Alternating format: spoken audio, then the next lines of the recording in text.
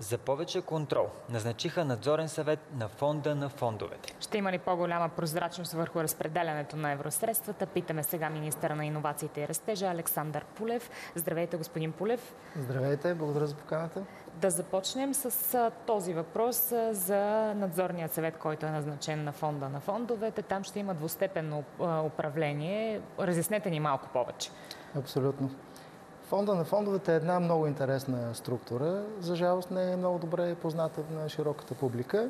Ние се опитваме в момента да въведем едни чисти прозрачни процеси. Това е подхода не само към фонда на фондовете, към Българската банка за развитие, към всички структури, за които имаме в момента тази временна отговорност. Фонда на фондовете е от изключително важно значение, защото тя управлява над 1 милиард лева средства, които идват от нашите европейски партньори. Това са средства на българския дънокоплатец. Това са нашите пари, вашите пари. И ние трябва да сме сигурни, че там има нужната прозрачност и нужното ниво на контрол, за да може по най-ефективния начин тези евросредства да се канализират вече чрез финансовите посредници до бъдещите шампиони на България. Липсва ли е контрол след като правите тези промени? Ние направихме доста задълбочени анализи, имахме срещи с неправителствени организации, които споделиха също техните наблюдения. Дадоха ни тяхната визия за различните пропуски, за различните процедури, които според тях не работят и които трябва да се оптимизират и които трябва да стъпят на добрите практики, които вече са установени на ниво Европа, Европейски инвестиционен фонд и така нататък.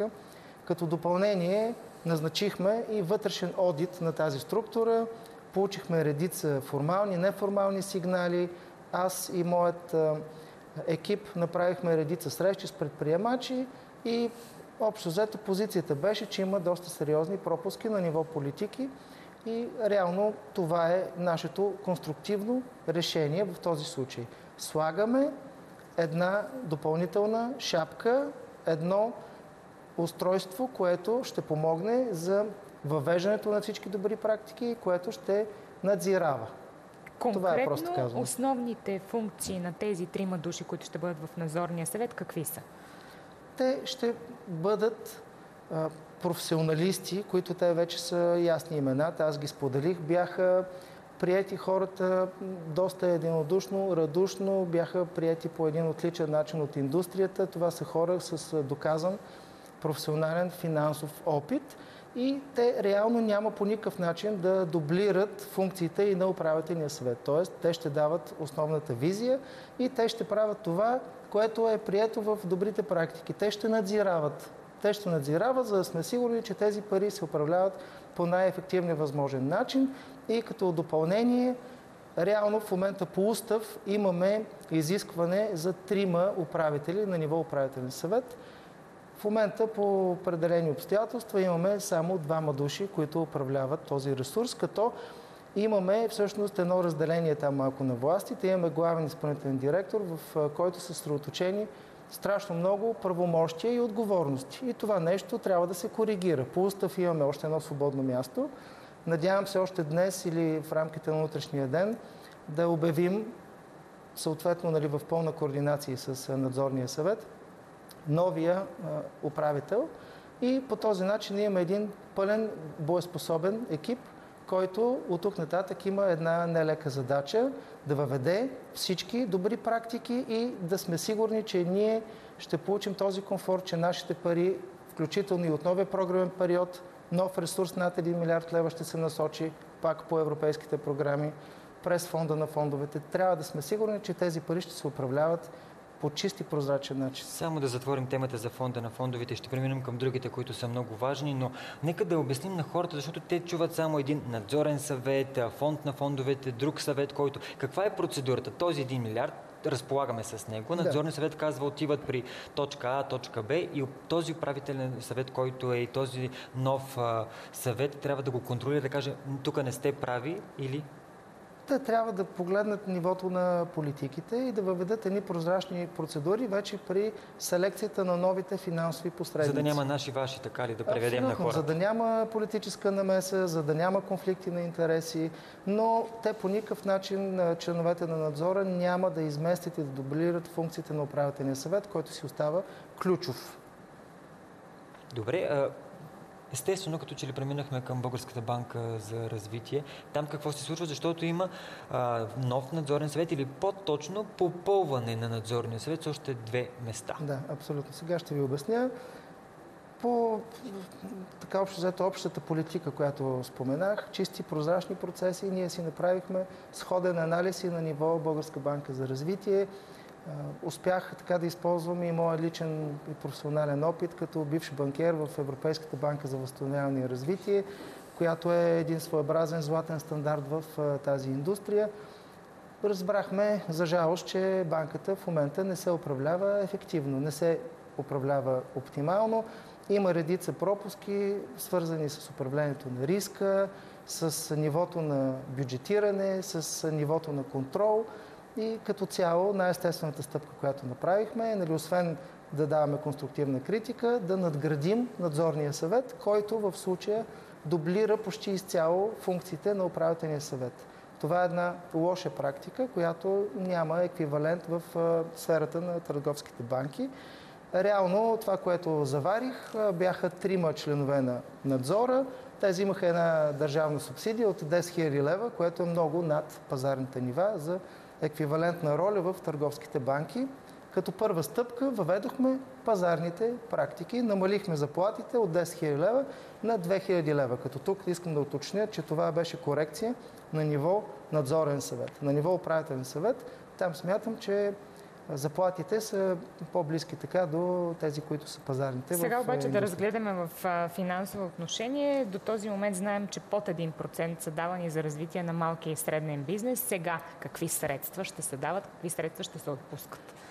Благодаря ви. Това е един от основните проблеми. Липсата на визия и липсата на адекватна стратегия. Като тук реално няма поле за интерпретация. Има закон за Българската банка за развитие. Той много ясно дефинира целите на тази банка. Съответно, кредитирането и подкрепата на малки и средни предприятия е ключово. Това е гръбнака на българската економика. Държавната банка трябва да подкрепя тези точно ползватели, местната книжарница, баничарница, такъв тип бизнеси, особено в условия на криза.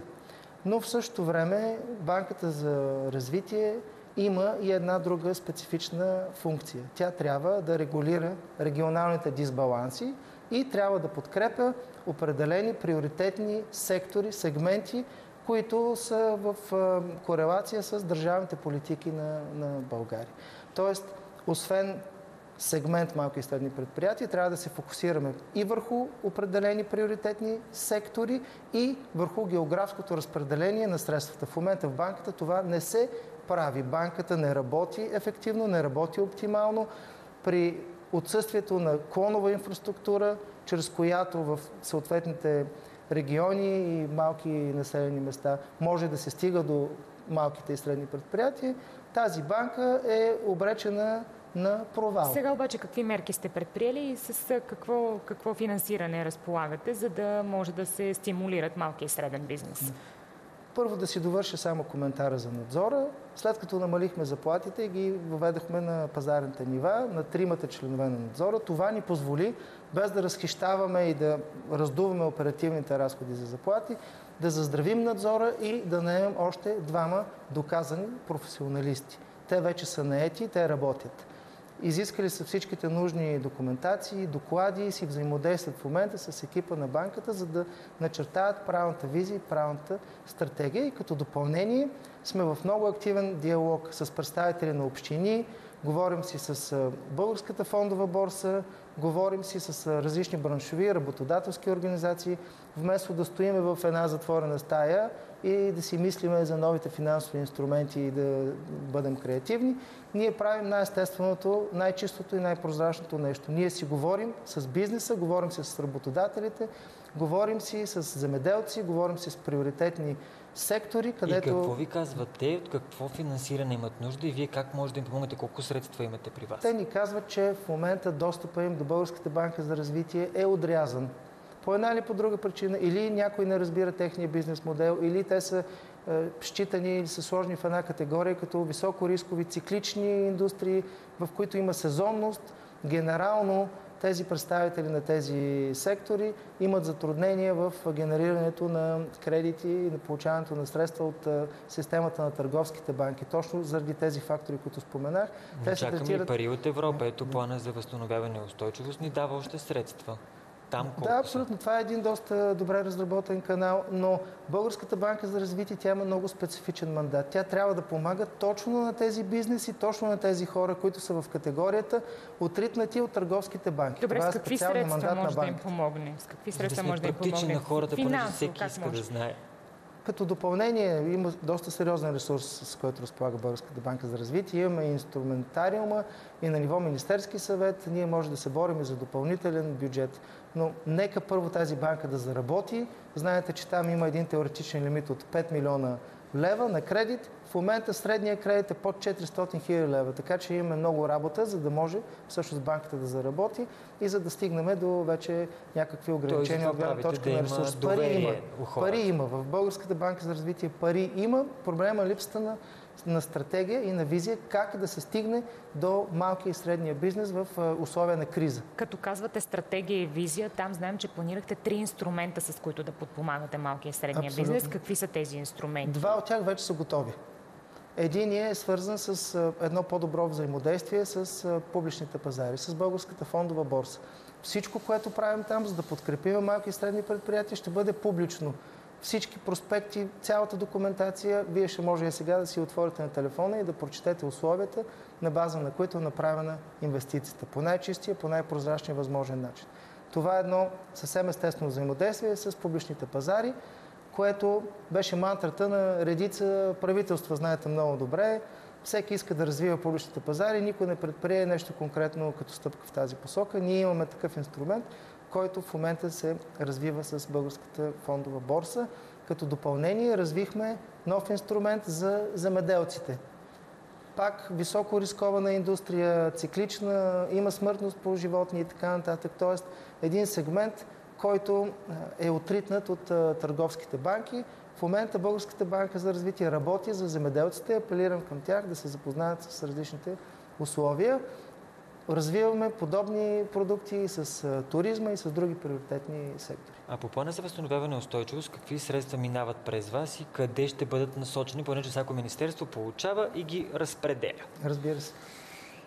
Искам тук много ясно и точно да кажа, плана за възстановяване и устойчивост е отворен и той работи. Много се спекулираше по тази тема. За жалост още има така доста хора, които се намират в предизборен режим и са в кампания.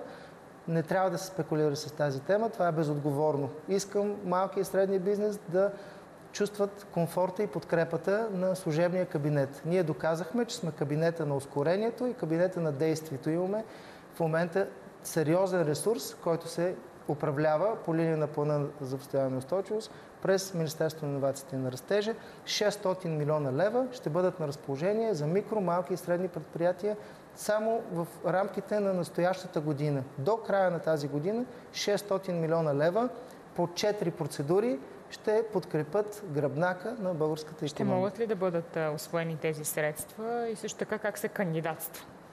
Кандидатства се по много чист, ясен, прозрачен начин. Имаме в момента страхотен интерес и може да се похвалим с добър успех от гледна точка на първата процедура, която управлявахме по линия на плана за възстановяване и устойчивост през нашето министерство. Тя беше за технологична модернизация.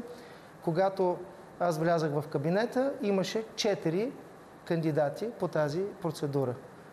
Един месец по-късно, с активното участие на моя кабинет, обиколихме над 20 различни области в държавата, срещи с областни управители, с местни браншови организации, с работодатели, с местни медии.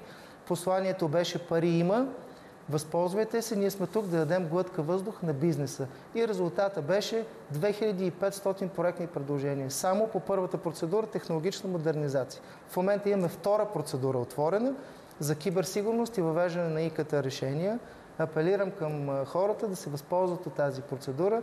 В момента има активен, отворен прозорец за кандидатстване. До 19 декември апелирам към всички вас да се възползвате. Бюджета на програмата е 30 милиона лева изключително изключително релевантна тема. Киберсигурност, насочена към малки и средни предприятия, знаете, в контекста на всички тези атаки. Финално само да ни кажете, хващаме ви, когато се върнахте от Париж. Там от една среща на Европейската космическа агенция на министрите. Какво като новини ни носите оттам? Да, върнах се от Париж вчера. Преди два дни бяхме в Търговище. След малко заминавам в Враца да подкрепа президента Раде в откриването на нов завод. В следващите дни сме в Сливен, в Ямбо. Динамична програма. Това, което чувам като обратна връзка от хората е, че те са демотивирани и реално виждам, че когато говорим за космос, по някакъв начин реакцията е така леко негативна. Хората гледат дори по някакъв леко така с Ма сега. Силан Мъск не се ли Да. промени това? Да, Ще идва да, но искам да променим, искам да променим този, този менталитет, защото имаме страхотни постижения, имаме много силен потенциал в космическите политики. Не знам дали сте запознати, но има българска фирма, която произвежда наносателити. 100% сателити произведени в България. Те си взаимодействат с Илон Мъск. Не му пращат само покани, нали, за да идва тук в България да вечеря. Те си работят с SpaceX и използват инфраструктурата на Илон Мъск, за да изстрелва а, българските сателити Тоест и по друга орбита. линия сме свързани с него. Абсолютно, абсолютно пълно взаимодействие. Много интересни неща се случват. Запазваме в, си а, правото да тази ви поканим отново в този фокус за космическите дейности. Благодаря много за Точно това така. участие. Благодарим ви много.